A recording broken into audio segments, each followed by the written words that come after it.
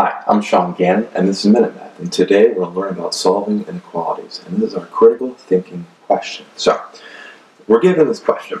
Let's go write. An inequality with x on both sides whose solution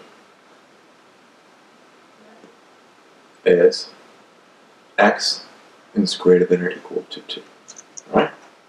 Well, what I like to do here is kind of, in a sense, you can, let's see, it's a kind of trial and error kind of thing um, with kind of planning ahead. It's up to you how you want to do it. Uh, some people like to work backwards by taking the solution and just add a few things to both sides and kind of keep it even, but why don't we, get, let's look at this. So if I just had 2x, right, is greater than or equal to x plus 2, okay? And this is going to be our solution, we're going to see why, kind of check why it is, right? Well, what happens, let's go look at this. So if I subtracted an x, I kept this, the 2 there is because we know the whole thing's equal to 2. And I know 2x is just one more than regular x that I needed right there. So by putting an x on the right-hand side here, I know if I was to solve this, I would subtract an x to both sides, leaving me what I needed, right? The 2 comes down.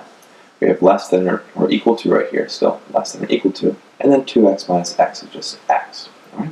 So again, what I would recommend, now there's many solutions, right? Many solutions, here's just possible one of them, is just that 2x is greater than equal to x plus 2.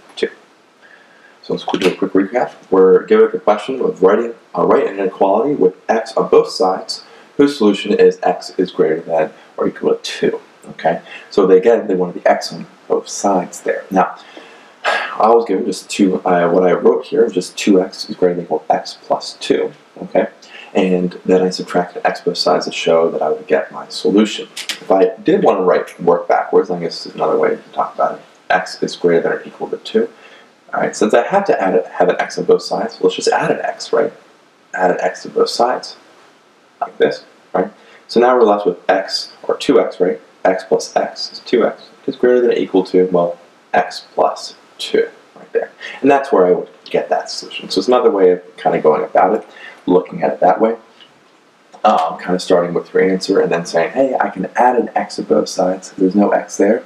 Let's go add one to both sides, right? Because you have to do it to both sides, but that's fine. That's legal in mathematics. And so we got a final answer here. A possible solution of 2x is greater than equal to x plus